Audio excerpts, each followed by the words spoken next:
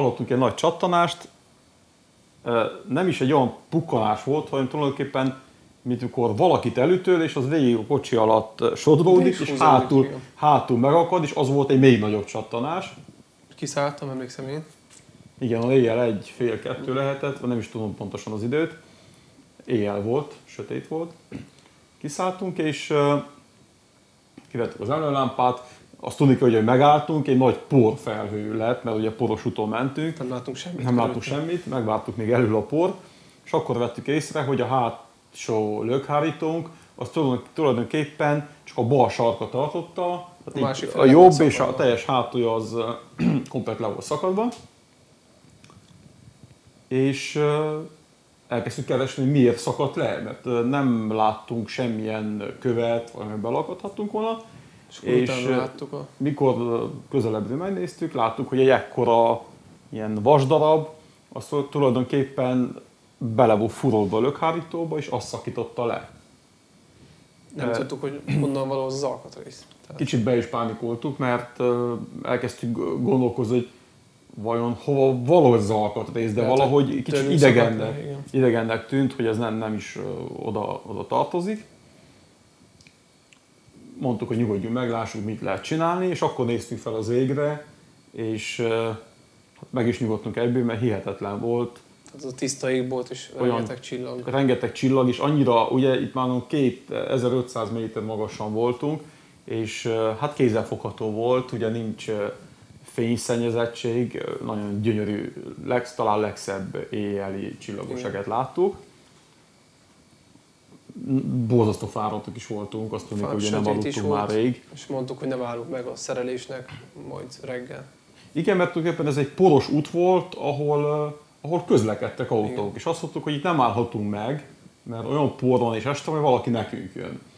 Kivettük, nagyon nehezen kivettük azt a vasat, tudom, belőttük a csomagtartóban, mindig azt mondtuk, hogy lehet, hogy a kocsiba való, de majd reggel megnézzük.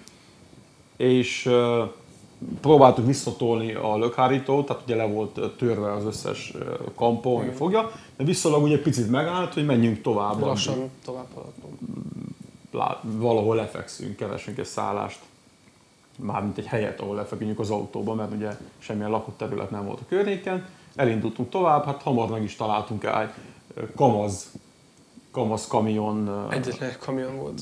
Pótkocsival szintén ő is le volt pihenve, aludt. Mellé behúztunk. És Megálltunk hogy mellé, hogy véletlenül is jöjjenek nekünk. Reggel felkeltünk, világos volt, de nagyon-nagyon hideg. Nem tudom mennyi volt, mínusz 10, de nagyon hideg volt. Mínusz volt bőven. Tudom, az ablak be volt fagyba. Az volt az első, felmérik a kárt a lökhárító, ahogy mi visszaakaszgattuk egy kicsit, az továbbra is állt, és akkor azt mondtuk, hogy menjünk tovább, menjünk egy nagyon picit tovább, süssön ki a nap, kicsit meleg melegedjen fel, mert teljesen le voltak fajva az ujjaink egy fél perc alatt kint. Mondtuk, hogy nem tudunk szerelni. Mondtuk, hogy így, így abszolút nem tudunk szerelni. Tovább is mentünk, kisütött a nap, vagy tudom, nulla fokig, mínusz két fokig, mínusz öt fokig melegedett a levegő. Az már meleg volt nekünk. Igen, és neki kezdtünk szerelni, hát jó öreg kalandmódra, tehát úgy nem, nem volt nálunk megfelelő lökhárító elem, úgyhogy szétfuttuk a, a karosszériát, de megoldottuk a problémát, és sőt, hát úgy jöttünk egész hazáig, nem is volt gond. Szerencsére, hogy utolsó nap, akkor elindultunk Szatmáról, tettük be a kötegelőt. Kábelkötegelőt. A kábelkötegelőt, úgyhogy ez nagyon nagy segítségünk. Fúrógéppel felfúrtuk volt, megoldottuk, és hát akkor szembesültünk tulajdonképpen világosban, hogy az elkövetkező ezer valahány kilométer mongol szakaszon ez az út viszonyok fognak minket fogadni. Nem volt aszfalt. Semmi. A por, poros úton jöttünk végig tulajdonképpen, földes úton, és az volt a a rossz, tehát a kicsi kocsinak ez volt a hátránya a Jeep terepjárókkal szembe, terepjárókkal szembe, hogy ugye ezeket a földes utakat, hogy mégis legyen egy út a, a hegyeken, ahogy megjelöljék, egy lánc, lánctalpas Igen. gépekkel húzzák, és ugye az ilyen brücsköket... Nagyon sűrűs kis autó, hogy mész rajta, nagyon rá. Ez, Igen, és 40-50-nél éreztük azt, hogy a kocsi szét akar menni, de hát ilyen 20 km per órás sebességnél volt az, hogy na most így jó, de viszont soha nem értünk volna haza. Úgyhogy elkezdtünk 40-50-nel menni, végig ezt az érzést éreztük, kesztyűtartó az olyan 100 km után leszakadt, mert minden, ami illesztés volt a műszerfalon, az elkezdett borzasztó csúnyán zörögni, egész hazáig az minket el is kísért. Tehát haladtunk, gyönyörű tájakon tényleg ilyen a mongol altáj fensíkra érkeztünk, én 2000 méter magasan voltunk, friss levegő. Akkor éjszaka azt hiszem pont Altály városában is szálltunk meg. Igen. Azt mondtuk, hogy elég volt a ott kocsiba aludni, és azt tudni kell, hogy nagyon nagy a por. És a por miatt 12 egyfelé már csak ezeket kezd, folyamatosan krákogtunk. Tehát az autó is fújta be a porta. Igen, tehát hiába elzártuk, hogy ne fújja, de viszonylag kicsit meleget kellett fújatni, és nagyon nagy, a kabinba is viszonylag megnőtt a por, és azt mondtuk, hogy semmiképp nem szeretnénk kocsiba aludni, minden poros volt, és ülés. Volt nagyon. És beérkeztünk Altaj városába, be volt sötét, azt hiszem, mire megérkeztünk. Már sötét volt. Így van.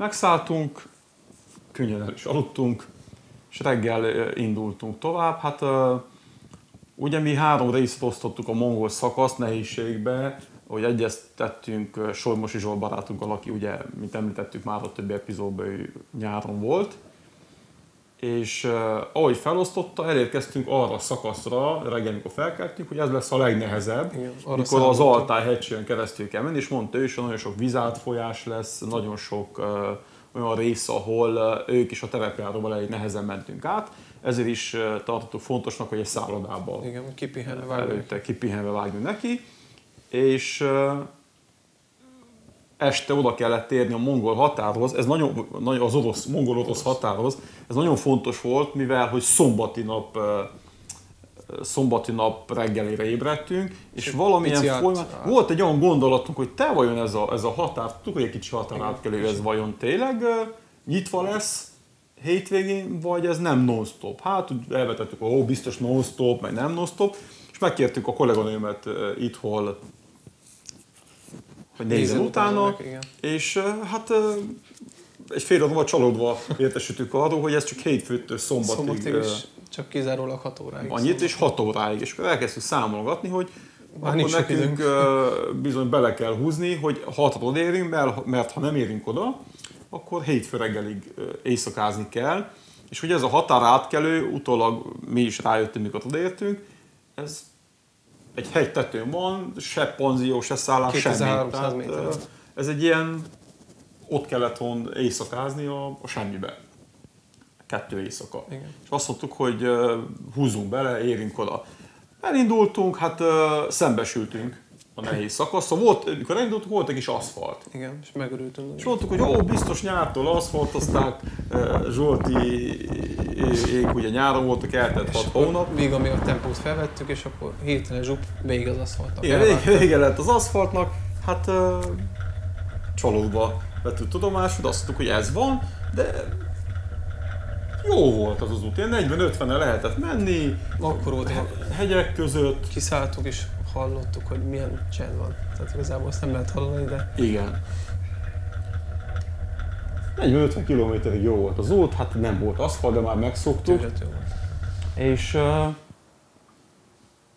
utána kezdtünk el mászni, mikor uh, találkoztunk is a lóháton, a juhásszal legetett a... Hát ott, ott egy kicsit kemény volt, tehát tényleg ilyen, ilyen nagy sziklák között kellett uh, kimenni, Igen, sár is volt, de kerülgetni kellett. Nehezen, nehezen átmentünk, és uh, volt egy patak, uh, ugye nem volt meleg, és azt mondtuk, hogy hát a simán át, átmenjünk a patakon, nem lesz ezzel gond, csak hát a teteje az be volt, be volt fagyva. Próbáltuk mi kővel. Kövekkel dobáltuk, de ez nagy volt, tehát ott dobáltuk már 20 percig.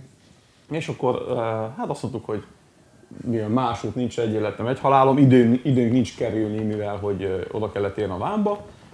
Belehajtottam, és kb. a feléig értük, és a kerék az nem tudta törni a jeget.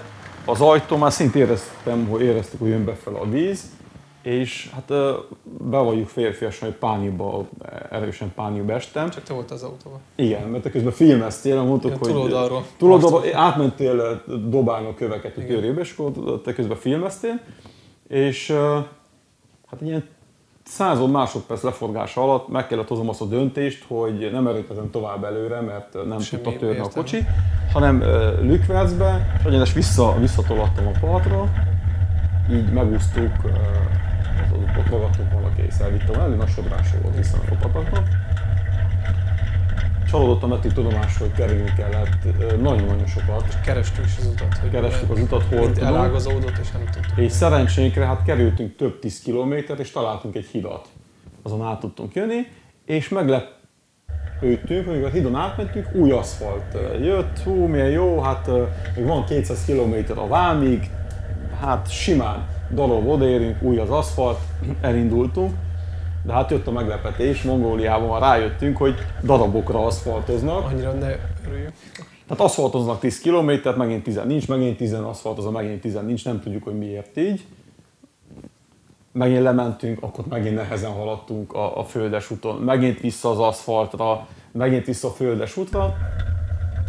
És uh, akkor történt az a dolog, mikor uh, 7 ára sütött a nap, kocsiba üvegházhatás melegünk volt, és te rám szóltál, hogy uh, azt hiszem a telefonom nem mutat jól, mert kint mínusz 20 fok van. És mondtuk, hogy nem létezik, hát nézd meg, Süt a a nap, hát biztos, hogy a telefonod frissítsél. És akkor kidugtad a kezed az ablakon. Ilyen lehúztuk, hát nézzünk meg, és akkor szembesültünk vele, hogy tényleg hideg van, délután volt, mi láttuk előtte két-három nappal, hogy jön a hidegfront, egy kemény hidegfront. Hát hideg volt, hát sütött a nap, nem volt gond. Megérkeztünk a mongol vámhoz, fél négy volt. Nem lesz gond, 6 óráig átmegyünk simán. Kettő kocsi állt előttünk, de nagyon nehezen haladt ugye ezekben az országokban már megszokott macerás, procedurás vám.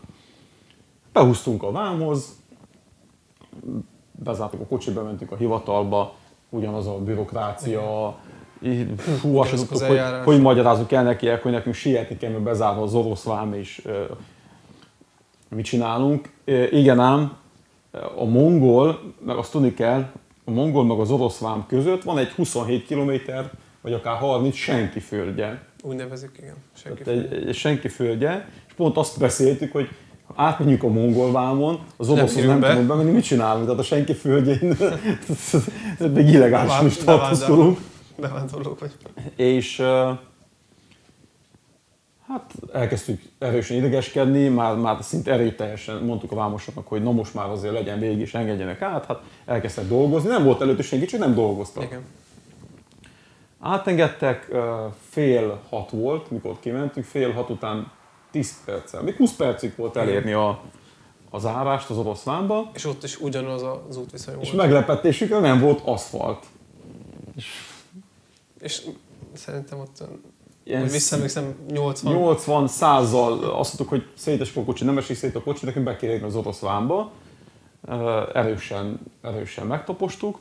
Közben már a hőmérő mínusz 30 körül mutatott. Megérkeztünk az orosz vám előtti vámhoz, ahol egy katona és egy sorompó volt. Odaérkeztünk, mutatta, hogy álljunk meg, hogy ő beszól, hogy még 6 óra 2 perc volt, tehát túléltük 2 perccel a, és beszól, hogy beengednek el. És mondtuk, hogy fú, hát ültünk szépen, orosz aztán megszóltuk, hogy csendbe kell ülni, nem szabad semmit, az a jó dolog, ha csendbe ülsz. Kijött a katona, és hát akkor esetleg ki a szívünk, amikor megemelt a sorompot, és mondta, Nyitott hogy a három méteres vaskaput, igen. igen, hogy, hogy mehetünk. Hát bement, beestünk a vámba, senki nem volt, ugye.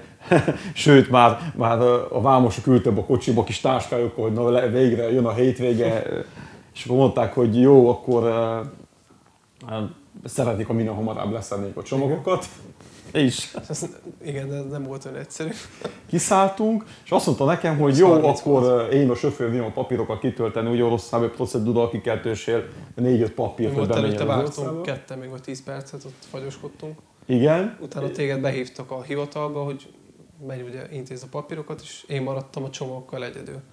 Tehát én, te bent voltál egy olyan 20-25 percet, én végig kint fagyoskodtam.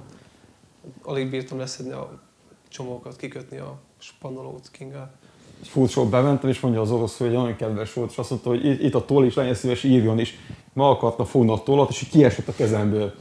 És mondtam, hogy elnézést kérek, én ezt nem, nem tudom, tehát lőjenek, lőjenek meg, én nem tudok írni, de meg van fajva a kezem, és nagyon tényleg látszott rajtuk, hogy mennének hazafele, és a hölgy elkezdte kitölteni, mondta, hogy X-et tegyek oda végére, hogy írjam alá, és rendben lesz. Mire kimentem, én akkor szembesültem, hogy Norbinak teljesen szét van a faj az ujja, és ül a kocsiba, és mondom, fiam, hát nem teszed vissza a csomagot, bezárják a vámot, és mondta, hogy én tenném, de szóval nem tudom megfogni, gyere segíts. És én már akkor begyújtottam az autót, mikor elmentél, hogy melegedjen, de még mikor te visszajöttél, még akkor se volt. Egy vonal nem ment fel, fel a víz, tehát a víz nem ment fel. Akkor annyit csináltunk, hogy azt a hálót lekötöttük, a kingák, a spanifereget már nem. Ezt nem tudtuk. És hát visszamentük úgy Oroszországba, mert sajnos a mongol Kazasztánon nem határos, és úgy vissza kellett menni egy, Részt Nekünk egy picinek tűnt, az 1600 km vissza kellett menni Oroszországba, hogy vissza utána jön Kazasztán. Hát átmentünk Oroszba, akkor volt az, mikor legelőször éreztük azt, hogy nagyon hideg van. Tehát már a hőmérő mínusz 30 fok alatt volt. Átvagytunk. E, pedig úgy terveztük, hogy a kocsiba fogunk aludni akkor éjjel, hogy előtte éjszaka szállodába aludtunk, és egyszerűen éreztük azt, hogy most, most ez nem fog menni. Tehát nem vagyunk képesek, át voltunk fagyva, és bementünk egy, egy kis városba, most, most tényleg nem tudom mi a neve, és nem találtunk mm, hotelt a bookingon sehol, kicsi volt, tehát a szempontjából is egy ilyen pár ezeres kis település. Kicsibe is voltunk eső, na most mi lesz? És megálltunk egy benzinkutnál, és te kérdezted meg, Igen, hogy van-e itt szállás valahol, és mondták, és Magyarázta az ember, hogy van valahol, de nem ilyen rendes ilyen hotel vagy szállás, egy hanem egy családnál szoktak családnál szoktak megszállni. Megszállni, mikor más még jön. Közben még az oroszlán ott eltötyögtük, még, még a városig volt, vagy 60 km, nem is tudom mennyi kilométer. Igen. Volt erősen 8-9. Igen. Lekötöttük a csomagokat közben, sötét volt, késő volt, és Megtaláltuk Nagy a házat, megtaláltuk a házat, és te mentél be. Én... Bekopogtál. Kiízott egy kedves hölgy, kijött, mondjuk, hogy mit szeretnénk itt. Hogy Leírtuk, hogy mit le, szeretnénk. Igen, mert, fordítóval, mert, csak oroszul tudott, így van. semmi más nyelvet. És mondta, persze, van szabad szállás, minden, ott a két gyereket ott bezavart a hálószobával. Három gyerek. Három gyerek. Három kis Magában volt ott a gyerekekkel, igen. És akkor mondtuk, hogy itt megszállnánk, azt mondta nyugodtan. Bementünk, valami 10 dollár volt egy éjszakára. Bementem valami papírokat kitölteni, elkért az útleveleket. Igen, mert ez egy magánszállás volt, de egy hivatalosan csinálta. Igen. És mondtuk, hogy nem kell semmilyen papír, mi kifizessük a 10 dollárt, csak hagyja, hogy pihenjünk le. És mondta, hogy nem lehet, sőt, nem akart elvenni dollárt, csak rubelbe fizessünk, és mondtuk, hogy nincs annyi rubelünk, és mondta, hogy a kártyával nem lehet fizetni, mert ugye, és a szényes szerint összekaphattuk az apró rubeleket, úgy jött ki, úgy jött ki amit ki kellett fizetni, és uh, nagyon kedves volt. És Sőt, hiszem, hogy pakoltok ki a csomókat, és akkor mondtam, igen. hogy hát amit akartok, vigyetek be a szobába, de amúgy is húztak ki az ő autóját, hogy húzzunk be a garázsba, Igen, a fűtő garázsba. Számukra ez egy, ez egy olyan dolog volt, hogy, hogy valaki kihúzza az ő kocsiját, és azt mondja, hogy ne, reggel egy meleg kocsiba be, ez fantasztikus volt. Behúztuk a... Mi le is takarta egy legt, Igen, hát fűtő a garázsban le is takart egy plate, de mondta, hogy éjjelre nagyon hideget mond. Hát akkor volt 30 igen. fok hideg. Ugye ez uh, Mongóliában, vagy át és Szotoszban, ez már Szibéria, ez is szibériai rész. Hát reggel felkeltünk, nagyon jól aludtunk, azt tudni kell. Tehát külön szobánk volt, külön fürdőszobánk volt, nagyon jól aludtunk, lehet még gyerekek szalagát ad, azt nem hallottuk. Még használtuk a konyhát is, mondta, hogy ha akarsz Igen. főzni. Tehát nagyon rendes volt, és, és nagyon jó jött, hogy reggel, reggel meleg garázsba találtuk a kocsit, mert volt egy néhány szervizelni való, amit hamar kicsit megoldottunk. Összeszedtük az autót is meg. A... Hát igen, még a lökháríton igazgattunk egy kicsit, a csomagok nem voltak rendesen lefogva, Mongóliában szétrázódott minden. Hát, Tehát egy, ilyen, egy, egy másfél órás ilyen, ilyen szervizelést eltettük a garázson, elköszöntük a nénit, nagyon kedves volt, és elindultunk, hogy én másfél nap után érünk Kazasztánba. Gyönyörű helyen jöttünk, tényleg az Ób folyó partján végig, fantasztikus táj volt, jó volt az út, végre civilizáció út. És elkezdtünk Bajnó, városába, ott elkezdett havazni azt hiszem, igen. Igen. És sötét lett, már, már Délután volt. este, este volt, és azt mondtuk, hogy megszállunk a kocsiba, lefekszünk. De ahogy elhagytuk Bajnót, Kazasztán felé, hát ugye, hogy egy elhagyatottabb ország felé mész, már ilyen tényleg ilyen kietlen táj, nem volt. Lepukant. Valahogy nem találtunk egy benzinkutat, ahol lefeküdjünk. Egy biztonságos helyet, ahol ugye sőt, lefeküdtünk egy benzinkutat, és éreztük, az itt nem lesz jó, arra mentünk egy picit, és valami hajnali négykor találtunk egy olyan benzinkutat, ahol volt még vagy négy-öt teherautó kamasz behúzva, lefeküdtünk, és uh, hogy két órát alszunk, és bemegyünk Kazasztánba. Megérkeztünk a kazak vámba, megérkeztünk uh, Borát hazájához. Amit annyira vártunk. Igen, közben azt tudni hogy kétszer megnézzük a Borát filmet, Igen, hogy Vladivostokba fel. Kazasztánból. Még a pendrive-ot a tévébe is hagytuk. Valahogy nekünk Kazasztán az olyan volt, hogy alig vártuk a Kazasztán béri, nem tudom miért, tetszik, tetszett a film. Igen. Megérkeztünk, megvettük a biztosítást, bementük a, a vám, hát az oroszok az két perc alatt kiengedtek. Nem volt. Már az oroszok, hogy valahogy már tudtuk a vámprocedúrát, hamar, hamar kimentünk, megérkeztünk a hőnáhít a kazak vámba, ahogy ránéztük az első vámosra, elkapott a röhögés, mindig barátot láttuk, de olyan vidámok voltak, ők is nem volt gond, mondták, hogy hol a vizum, az útlevélben, és mondtuk, hogy hát nem kell. Nem. nem kell vizum, új rendelet szerint, hogy három-négy hónapja volt törölve a vizum. Hát olyan nincs, de megnézték, de mégis van. Elnézést kértek, mondták, hogy tényleg nem kell.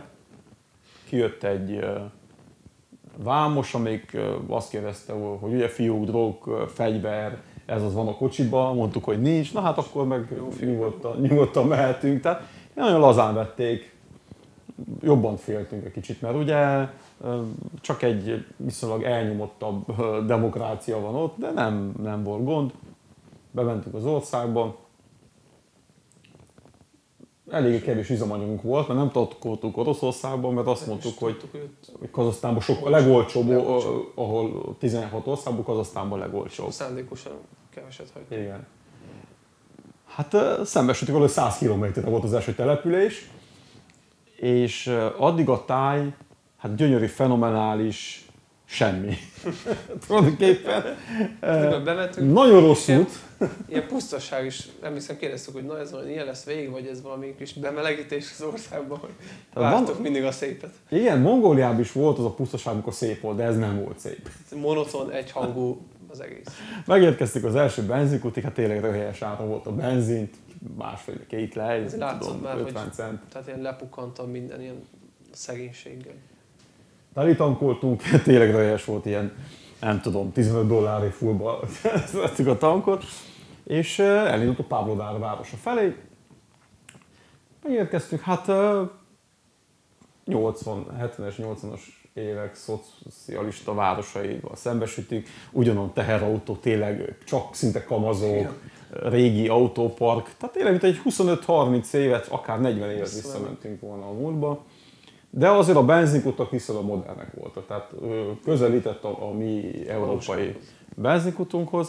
Megálltunk, eh, hát onnan Asztonába volt a következő úti célunk, hogy ö, kerültünk, de csak menjünk be Asztonába, nézzük meg, sőt, ott foglaltunk két éjszakára szállást. Na de mi visszakanyarodva egy picit Pavlodár városába, történt egy érdekes dolog, megálltunk egy benzinkutnál, nem találtuk a kifele, a GPS kicsit megzavarodott, Igen. és mondtuk, hogy álljunk meg itt a benzinkutnál, ígyunk egy kávét, reggel volt, ugye előtte éjszaka csak olyan másfél órát aludtunk, Nézzük meg a GPS merre tovább. szedjük össze magunkat, mosakodjunk meg, és induljunk tovább. És a benzinkút sarkánál megálltunk, És azt hiszem már indulni készültünk, mikor tettük vissza a GPS. igen, közben te, igen, mert te, én még a GPS-be állítottam, és te mertél venni két kávét. Igen. De én, már én is beültem az autóba, és már menni akartunk, és akkor hirtelen halljuk, hogy valaki kopogtat. Nem, megállt, nem, megállt egy, megállt egy Skoda, vagy nem tudom milyen kocsi. Szorosan mellénk egy fekete. Mellénket, és kiugrott öt fiatal, de ez a határozott kiugrott, kiugrott, kiugrás, és hát mi az volt az első, le, legyorsan leblokkoltuk az, az ajtókat, mert hát sok mindent hall az ember. Hát. És akkor jöttek oda és kopogtak. Igen, közben a sokkoló a kezünkbe, és kopogtak, akkor ott intett, hogy húzzuk le az ablakot, és lehúztuk az ablakot, és oroszul elkezdett mondani. Kazakul meg oroszul. Kazak, oroszul, így gyorsan beszélt, és mondtam neki, hogy ez nem lesz jó, angolul, hogy, vagy annyit tudtunk oroszul, hogy izvinyitje, nyert paruszki. és akkor azt figyelj, nappal vagy csak nem bántad, kiszálltunk a kocsiból, és akkor a telefonon fordító program elkezdtünk kommunikálni, és kérdezte, hogy hol valósiak vagyunk, mondtuk, hogy Európából jöttünk. Az expedícióról. Hogy honnan jövünk, Szibéria, akkor el is a kocsin a, a térképet, és ugye el volt a magokkal, és mondták, mondták, hogy csinálunk egy pár fotót velük, és akkor jöttünk rá, mikor, igen, mondta a srác neked, hogy meg akar minket vendégelni. Meg szomjasak, éhesek. Igen, és mondtuk, hogy hát nem szeretnénk most kiszállni, mert azért megyünk masztanában van foglalásunk, de mindenki buta való szeretett a másod, és elvitt téged. Behúzott engem, megfogott, nagy gyere velem. és bementünk igen, a, a benzikot hátánál volt egy vendéglő. Volt egy ilyen kis igen, vendéglőszerűség bevitt, és akkor mintha ő lett volna ott a helyi ilyen keresztap, ilyen górék.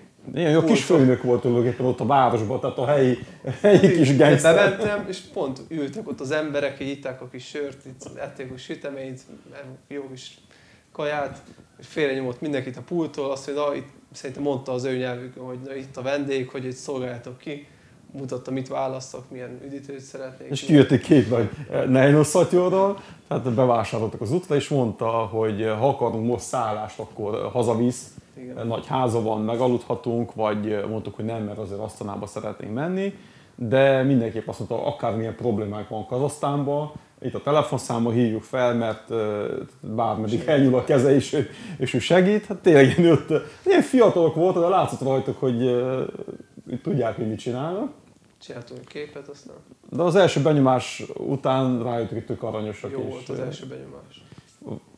Fotóztunk, elindultunk Asztana felé. Azt tudni kell, hogy Pávlodár és Asztana között most épül az autópálya. És uh, volt, mikor fantasztikus négysávos autópályán mentünk, volt, mikor térdigérő sárba, a teherautó építési zónákon mentünk át és akkor jött el az expedícióba az első olyan pillanat, mikor, mikor rájöttünk, hogy nagyon-nagyon fárasztó ez az egész, és nagyon-nagyon fáradtak voltunk. Éppen aztán előtt egy 50 kilométeren, mikor már az autó, autópályán mentünk, elcsendesedett minden, csapatunk mi is 110 km per órával, ami nálunk az rekord. rekord volt. És akkor jöttünk, és mondtam Norbinak, hogy nem tudom, vezettem, és azt éreztem, hogy én otthon ülök a nappaliba, mint hogy most itt ülünk, és mondom Norbinak, hogy fiam, nyisd ki a hűtőt, hozzá egy sört, apám, mert kezdődik a meccs. És akkor én is el voltam egy bambulva, gondolkozok, hogy jó, hallom, hogy mit hallok, és én már majdnem nyitottam az ajtót, hogy megyek, és mondom, hát de várj, mert ha nem otthon. Igen, és akkor összenéztük, hogy milyen meccs, milyen hűtő, és akkor szembesítünk azzal a tényel, hogy azért 20 ezer kilométeren rég túl voltunk, hogy, hogy fáradtak vagyunk. Hát bementünk, vasárnap volt, bementünk délután közeledtünk aztán a felé, és mondtuk, hogy ó, vasárnap van, biztos nincs forgalom. Hát nem. Hogy lementünk az autópályáról, mutatta a GPS, hogy 4 kilométerre van a szálloda, azt hiszem másfél órát csináltunk. Csak egy pirost mutatott a GPS. Igen, borzasztó nagy dugó volt. A kuplung, ugye ezt már tudjátok, Na akkor megint azt akarta neki mutatni, hogy Előjött. sok életem nincs, de Igen. akkor csinált legcsúnyába. Tehát minden egyes benyomásnál hol leakadt a kuplunk pedál, ki kellett rúgdosni, nagyon nehezen haladtunk. Megérkeztünk a szállodába, az egy jó szálloda volt mi nem akartuk, soha, sehol az expedíció nem kerestünk luxus szállodát, luxus kényelmet. de mi, hogy Kazasztán annyira olcsó, Igen. hogy azt mondtuk, hogy most inkább engedjünk meg magunknak egy, egy három csillagos szállodát. Két 38 euró volt kettő éjszakát, tehát nem, nem volt itt se drága reggelivel. Elkezdtünk a szállodába, végre tudtak angolul a recepción, Igen. és annyira jó volt, hogy elbeszélgettünk. Valami 8 emeletes szálloda volt és akkor este nem csináltunk semmit. Te lementél a valami hipermarketbe, vásároltál Igen. ezt, azt. Nem, lementünk, lementünk a vendéglőbe, A és, és ettünk egy, egy kazak kaját, nem tudjuk mit ettünk, de finom volt. Már nekünk akkor minden finom lett volna. Hát meg reggel lett, nagyon jól aludtunk. Olyan kényelmes volt az ágy, szoba minden. Reggel felkeltünk, hát ugye Asztanában azért is mentünk be, mert nagyon szép a város, tehát mindenki mondta, hogy felhőkarcolók. És azt mondtuk, hogy hát hogy lehet legjobban megnézni a város, gyalogolni. Ugye a végén 22 km gyalogoltunk, megnézzük a város, de amennyire szép, sőt a képeken, amit láttok, Amennyire vártuk. Tehát, hogy ö, szép, de viszont egy olyan igazi SimCity, tehát valahogy látszik, hogy azért egy 25 éves fővárosról van szó, ugye addig egy kicsi kis település volt, és valahogy hiányzik az élet belőle. Tehát mi sétáltunk tényleg központban, mindent megnéztünk, amit lehet, de valahogy ilyen az élettelenek. emberek is ilyen mogorvák, ilyen, Igen, tehát valahogy úgy, úgy estére, délután érkeztünk vissza szállodába, és mondtuk azt, hogy talán összenéztünk, megittunk egy sört, és mondtuk, hogy itt nem laknánk. Igen. Hideg is volt, de hát mondjuk na, hideg volt, amúgy ott már beköszöntött szint a tél. Reggel elköszöntünk Asztanától, és elindultunk, volt 1200 kilométerünk a Kirgiz határ felé. Hát uh, szerintem ezt most egy percben szinte el tudjuk mondani. Hogy milyen volt az? Hát uh, elhagyva Asztanát még 200 km volt Karagandig, ugye autópálya, mondtuk, ó, milyen jó lesz az autópálya megy Hát, végig. ha autópályán megyünk végig, Aztán Karagandi, Karagandi uh, körgyűrűjén szembesültünk azzal, hogy uh, milyen volt nálunk 1040 évvel a körgyűrű, tehát gödör-gödör hátán. Elhagytuk Karagandit, megállítottuk a rendőrök, uh, azt tudni kell, hogy uh, tehát 1200 kilométeren belül biztos látunk 200 rendőrkocsit. Kazasztán volt addig az az ország, ahol legtöbb rendőr volt. Tehát Igen, és valahogy a külföldiek nem vesznek, eh, külön kell venni kazak biztosítást, az is, azt csak azt kérték. Megállított a rendőr, és mondta, hogy a, hogy a Strahovkát kéri, a biztosítást, nem is kérte semmi más papírt. Tovább engedett, ugye volt Strahovkánk, és eh, valahogy semmi emlékük nincs arra az 1200 kilométerre. Egy borzasztó elnyomott.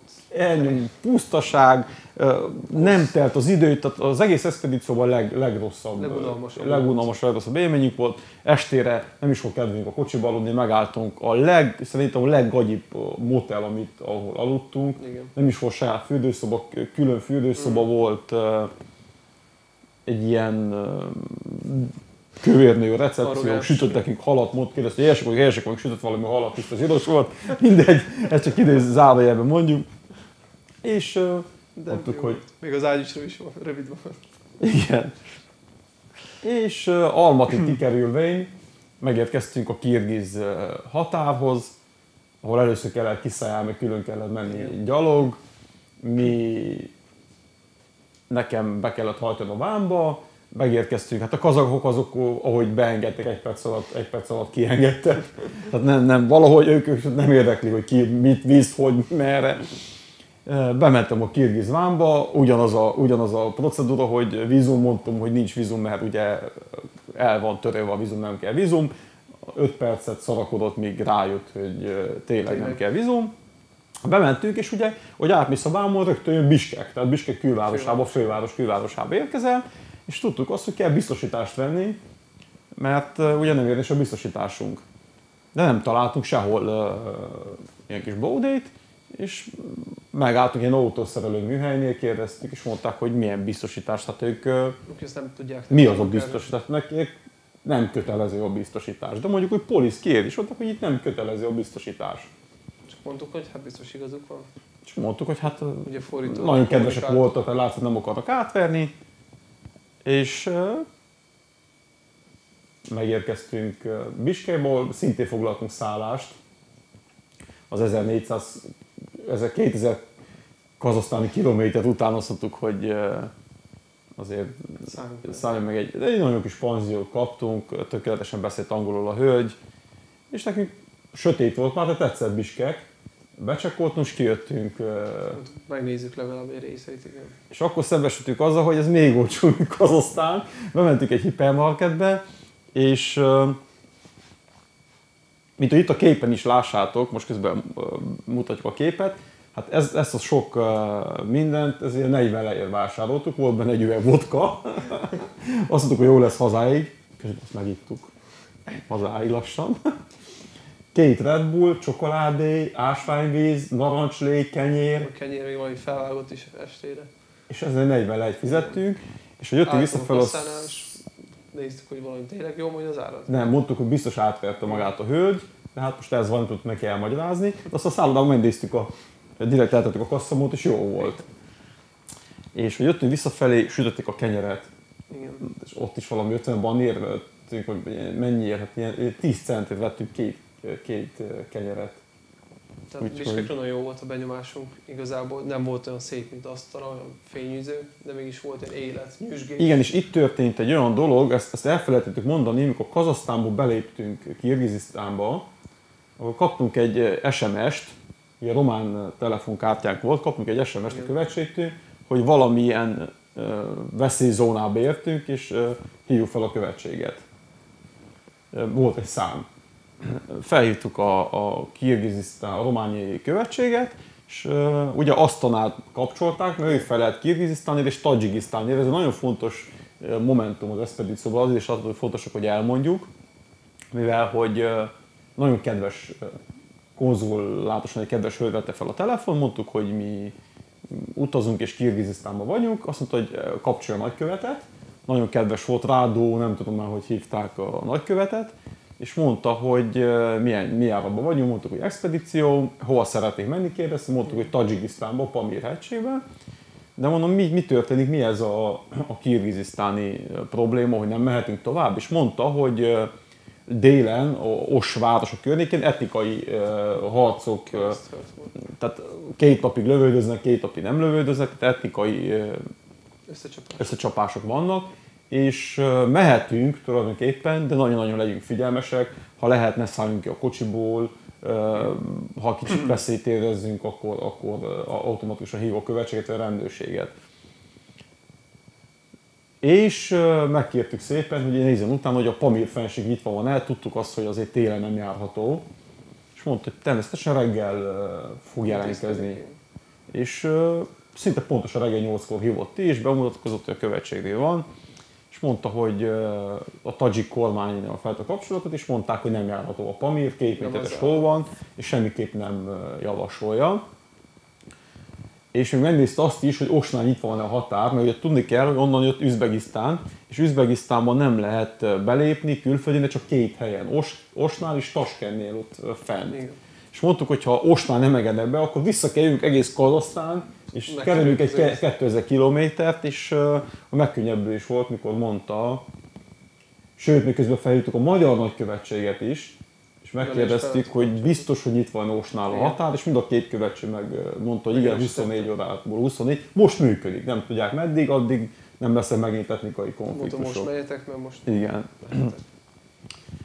Hát uh, úgy reggel, miután beszél a követséggel, mondta, hogy a tajikisztáni, tehát a Pamir le van zárva, akkor meghoztuk azt a döntést, nagy sajnálatunkra és csalódottan vető tudomású, hogy Tajikisztán ki fog esni az expedícióból, vízumunk megvolt, a, sőt megvolt a GBAO permitünk is, hogy a Pamira ugye az egy külön autonóm terület behajsunk. De hát ez van, csalódottan tudomásul vettük, hogy Kirgizisztán után ostól nem Tajikba veszik az irányt, hanem Üzbékbe. És hát itt kezdődött megint az a hát egy hatalmas kaland. Elhagytuk Biskeket, szakadt reggel az eső, és tudván azt, hogy eh, mi 3700 méter magasra kell felmenjünk kocsival, 7000 méteres hegyek vannak, és így csalódottan, mert mondtuk, hogy ó, esik az eső, hát nem lesz hó. Nem, igen. És uh, elhagytuk Biskeket 20 kilométerre, és már gyanús volt, hogy a szembe lévő teherautóról. A havasok voltak, és az esőben már kezd átmenni havas esőig, és mennyit? 10 percet mentünk. Már a kerék szinte tolt a havat. Elérkeztünk egy sorompóig, ugye ez az egy út megy át a Kirgiz hegységen, elérkeztünk egy sorompóig, és azt mondja, csak 4x4-es kocsikat engedtek át, hát látták a mi autónk az nem volt egy szokványos, tehát mi mondtuk, hogy ez 4x4-es, hát simán felmegyünk. Mondták, Hát, hogy, senki hogy akkor jó, hát akkor felengednek, de tényleg teherautókat senkit. Hát meggyőztük őket, hogy mi kocsin 4x4-es, és mindenképp engedjenek fel, hát de úgy voltunk vele, ó, hát még nem mondom, hogy a hó nem lesz ezzel gond. Hello, hello, sziasztok! Itt vagyunk Kirgizisztánba, felfele, csak mi megyünk meg a 4x4-esek, ezt el Igen. kell mondjuk.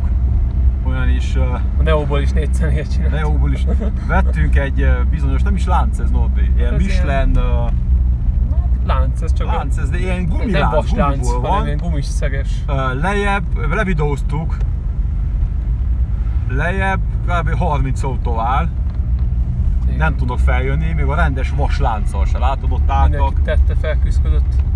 Mi ezt feldobtuk, nem szeretnék reklámozni ezt a Michelin láncot, köszönjük Gerbognak, hogy hát, hogy nem hagyott minket itt Kirgizisztánba.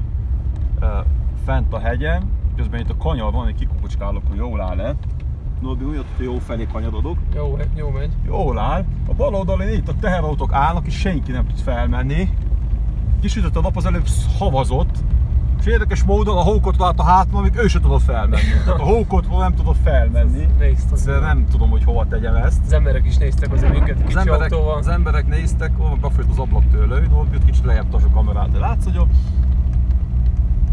Hát azok ott fenn nem tudom, látszik, mert süt a nap, azok a 6000 méter magas hegyek, és sütött a nap. Hát igen, jó útnak ígérkezik. van 600 Még van km, 600. de mi élvezzük, szakad a hóba, kiugrottunk, egy perc alatt feltettük az egyik oldalt, egy perc alatt a másik oldalt a hóláncot, ezt a hógumit, Igen. Nézzétek utána Michelin, nem tudom mi a neve, Michelin. ilyen, ilyen gumiból van, és vannak ilyen vas kapocsok rajta. Michelin Easy, Easy Grip 13, azt hiszem valami olyasmi. De ha megnézitek, lefele is alig tudnak jönni, mindenki áll, mi vagyunk a Jani, menjünk felfele, hát nem szorulunk be itt a két kamion közé. Jön a kamaz. Hát de remélem, hogy az megáll, hogy lefele jön. Megáll, néha a kamion lánccal nem tud A GPS felmenni. vétel megszűnt. A GPS vétel megszűnt, már a holdon járunk, de szép ott fent. Norvi, itt tartsa csak a kormányt, kinézek, hát mi így vezetünk most. Ugyanúgy áll, úgyhogy minden rendben van. Itt is jön egy jó. Itt gyönyörű egy ország, háton jön egy Honda, annak nem tudom milyen 4x4-ese van, vagy milyen lánca van, de ő is ügyesen jön. Vesszük a kanyart, ez egy nagyon meredek egy emelkedő, remélünk itt nem hagy cserbe pont videózás közben. Hál' Istennek szépen. Nagy. Dolbi, álljunk itt meg, nézzük meg a láncot, és közben tartsd a videót, mutassuk meg az ember, mindenkinek, hogy hol járunk. Oké. Okay. Hello, good, yes, yes, Hello. yes. Mutatja nekünk, hogy nagyon Mutatja, hogy kemények vagyunk. valami nagyon kemény cuccotok van. Na közben kiszállunk, hú de nagy a hó. Bokáig érő. Mutasd meg, mutasd meg a, a láncot. Itt a lánc. Van. Stabilan áll. A túloldalt is még itt egy kicsit látod, hogy húzunk rajta, ez elhelyezkedett. Ó, de fasza. Jó lesz, megmutatjuk az autót. Ne úgy gyönyörűen. Kicsit jó jött ez a hó, mert megmosta az autó. Várjál, no, dolgozom a lámpát, mindjárt nem indulunk el az aksi miatt. Itt is áll a lánc. Itt is egy kicsit meg kell húzni, de Hát ez már, ez... Ez jó. Még mutassam meg itt lenn, Norbi, gyere csak a kamerával. Várjál. Nincs hideg! Az a jó, Yeah! hogy én kabátban vagyok. Gyere, még mutass meg itt, hogy ott állnak a... És ott fent van egy hatalmas csúcs, az nem Az látszik. nem nagyon látszik, mert borult, de egyben napos is az idő már. Boldogak vagyunk. Haladszik, hogy a patak úgy folyik. Tényleg basszus, köszi, köszi Gergő! Ezt a fantasztikus láncot! A- El volt, nem tudtuk ott felvenni, itt ültünk ott tavaszig. Meg a jó gumit. Meg a jó gumit! Ennek ez a fotózat. Eszméletlen a kilátás. Neo, az pompázik. No, ő videózik. Fú, közben olyan nagy a hó, alig tudok elmenni. Na jó, az a cucc. Közel is csak rá, hogy milyen cucc. A rendszámunk már nem látszik. Most nézem.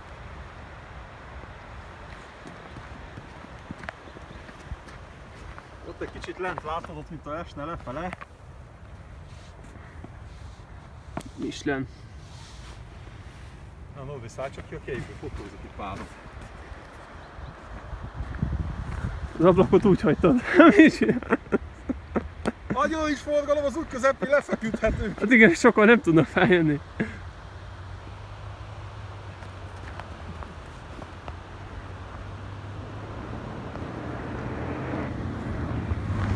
Hello!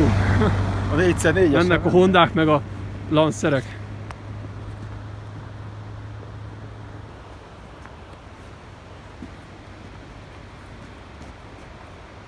Menjünk kölyök! Hát nem mentük egy 20 kanyart, szembesültük fel, hogy bal oldalt is egy kamion az árokba, jobb oldalt is egy kamion az árokba, megint bal oldalt egy kamion az jó. És azt mondtuk, hogy lehet, hogy nem lett, volt jó ötlet átvedik, hogy négyszer mert és ha nem tudunk felmenni, de azt mondtuk, hogy nem tudunk visszafordulni, most már menni kell, Muszáj megcsinálni. és hát akkor mondtuk azt, hogy biztos jó ötlet volt, mikor meg volt a káva, 404-es kocsit nem tudott tovább kap, kapatni, mi is megálltunk, és nem tudtunk elindulni. Tehát annyira csúszott minden, amikor egy kicsit belegázoltunk, balra csúsztunk neki fel a pataknak, mikor megint belegázoltunk, neki csúsztunk a helynek, épp hogy az ajtót nem is lehetett kinyitni, és akkor mondtuk, hogy kész, álljunk meg, és kell hozzunk egy döntést. Audio.